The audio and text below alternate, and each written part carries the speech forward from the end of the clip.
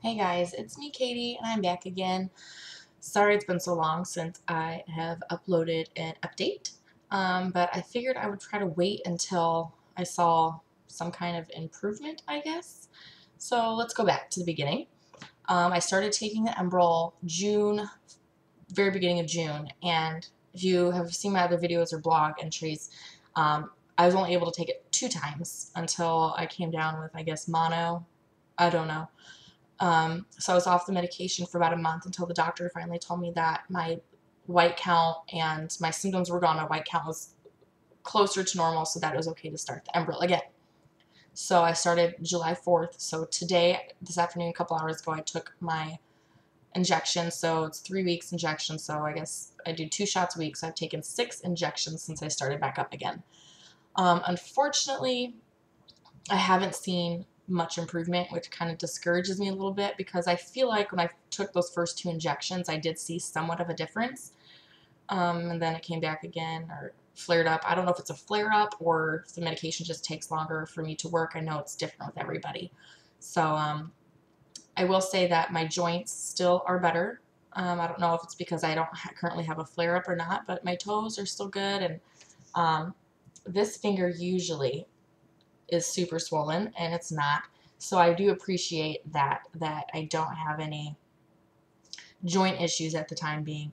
But I would really love it if my skin would clear up because currently right now it is about almost 100 degrees outside and I'd love to be able to wear shorts and feel confident about it. But I want to, I guess, maybe give some encouragement to people out there. I've always been one to cover up my legs because I have psoriasis on my knees and my ankle and my heel and my feet and it's my shin, my calf. It's not very cute.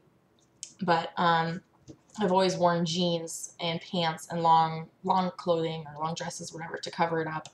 I can't really, I don't know if you can see it, my elbow there and there and here. It's pretty scaly right now, but um, I stopped trying to cover that up because it's just too ridiculously hot. But I made a vow to myself. My birthday was July 3rd, three weeks ago. Um, and so for my birthday gift to myself, I decided to let it be known that I was no longer going to cover myself. We, as people that have to deal with psoriasis and skin issues, whether even, even if you don't have psoriasis, if you have burns on your skin, um, anything, why should we be ashamed of what we look like? We're all you know, beautiful people. We're, we all should be able to be comfortable in our own skin. And unfortunately, there are some out there that just can't understand or be sympathetic towards that. But we have to be the first people to step out there and just show our confidence. And I've also been told by a lot of people, you know, it's the first way to educate people as to what we have to go through and what we deal with. And yeah, there are going to be some people who stop and stare or make comments that are immature and unnecessary, but there's people like that everywhere. Um, so reluctantly, I decided to start wearing shorts and skirts and said, to hell with it. I'm going to be me and do me. And it's very scary at first. I think it's more of an issue for me. I constantly looked at people, see if people are, are they looking, are they looking? And I just need to find within myself to kind of move past that. But either way, it's been about three weeks now. I still do wear jeans, but sometimes I just say screw it and I wear, you know, shorts, whatever. Um, but I know it's it helps when you're surrounded by people who understand or supportive of you. So make sure you have people like that in your life. But um, yeah, I guess that's really the only update I have. I wish I had better news for you out there for those who are trying to look for like, oh, it worked immediately and it's gone and my skin is clear. Um, hopefully, fingers crossed, hopefully in the next, hopefully soon, but I know it could take a few months. But I'm going to stick to it. Everything's going good so far.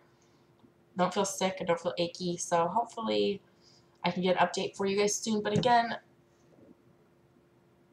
I'm counting on you guys for support just as much as hopefully you guys are looking at me as kind of a role model, I guess. Be yourselves.